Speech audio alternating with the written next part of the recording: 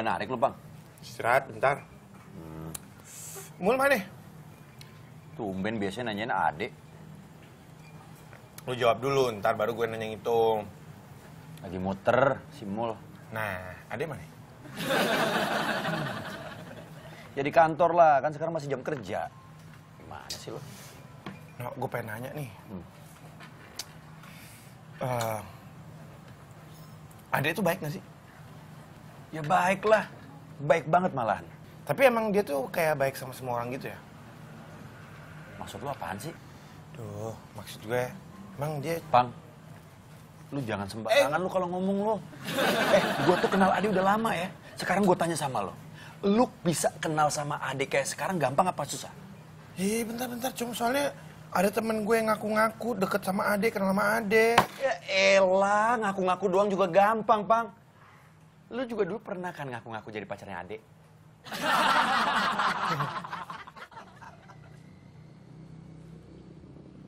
Jadi apa perlu gue tunda rencana berangkat ke Jepang? Ya tunggu sampai mental gue siap. Tunggu sampai Tuhan ngasih tanda-tanda buat gue.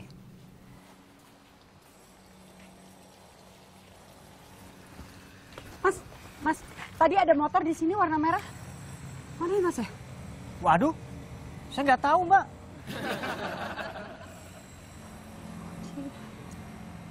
Astaga. Hilang masa?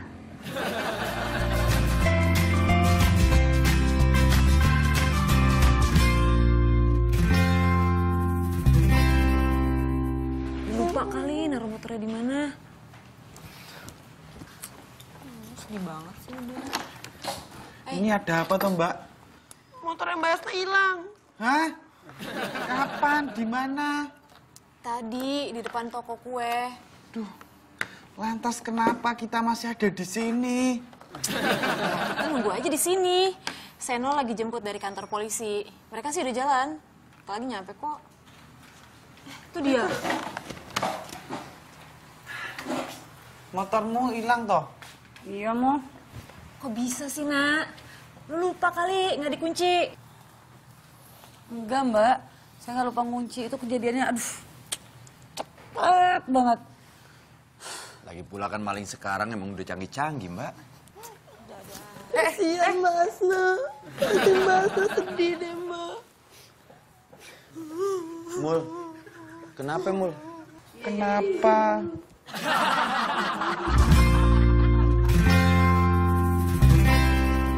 Kasih ya, Mbak. Mbak Asna belum ke Jepang, udah sedih. Mungkin emang gue belum boleh ke Jepang kali deh. Terus rencana lu gimana ke Jepangnya? Nah? Ya batal lah. Gue mesti harus mikir panjang lagi. Mesti harus beli motor lagi. Sabar ya, Nak. Jangan putus asa. Gue yakin, mau gimana pun caranya lo pasti dapat uang lagi. Tapi saya berarti nggak bisa narik ojek untuk beberapa hari ke depan loh mbak. Tenang. Kalau urusan motor beres, Mas mau beliin Mbak Asna motor? iya. Tapi duitnya dari Mbak Asna. Hmm. Atau gini aja, daripada lo nganggur, sementara ini lo bantuin Ade di customer support. Gimana? Mau nggak? Digaji nggak? Gaji lah.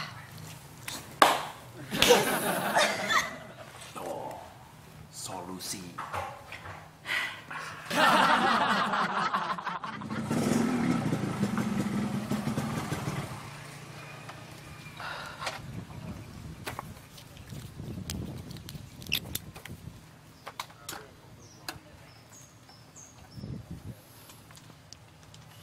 Dari mana lo? Eh, Rengki. Lu gak usah bohong deh sama gue lo. Lagu-laguan kenal sama adek lo. bohong apaan? Eh. Lu kagak kenal kan sebenarnya sama adek kan lo? Kan lu denger sendiri. Adek gimana ngobrol sama gue. Gue nggak percaya. Itu bukan adek. ya terserah. Mau percaya, mau kagak? Emang gua rugi. Eh, Frankie. Gue kasih tahu sama lu ya. Si Ade itu bukan cewek gampangan. Dan dia nggak mungkin naksir sama Hah, tukang ojek kayak lu nggak mungkin. Gua telepon ade lagi ah. Heg, telepon, heg. Diem, gua speaker nih. Iya. Ada telepon tuh mbak, angkat gih.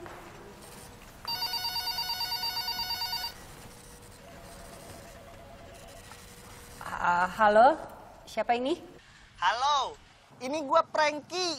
Ah, yang tadi nelpon. Frankie mana ya? Enggak, cuma mau nelpon aja. Boleh kan?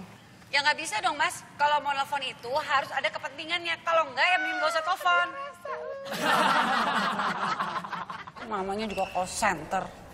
Mbak Asna, kalau ngangkat telepon dari pelanggan jangan kayak gitu.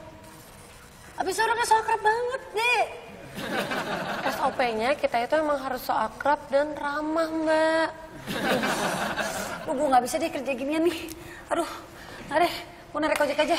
Mbak, tapi kan motor Mbak Asna belum ketemu. Oh. Gimana dong?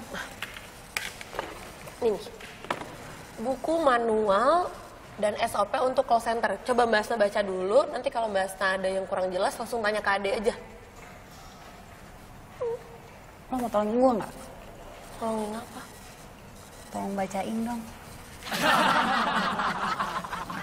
Cewek lu galak banget ya. Kagak ke gue baik. Apaan? Tadi lu nelpon aja ke dia, dia jutek sama lu. Itu waktunya kurang pas. Kalau emang itu waktu kurang pas, sekarang lu telepon dia. Ih, nggak mau. Hah, Ntar aja. Pas mau istirahat, kalau nggak pas udah mau pulang. berarti bener emang cewek lu jutek sama lu. Kagak. Ah, jutek. Baik. Buktiin. Gue telepon nih sekarang ya. Intinya, kalau ngangkat telepon dari pelanggan itu harus ramah mbak, biar pelanggan juga seneng. Phone lo tuh. Ye, bang Upang lagi. Kenapa sih nelfon terus? Kan telepon pribadi, Mbak. Tetep aja harus lama. Iya sih. Bang Opang ya? Apa kabar Bang Opang? Ade. Ade lagi apa? Lagi kerja.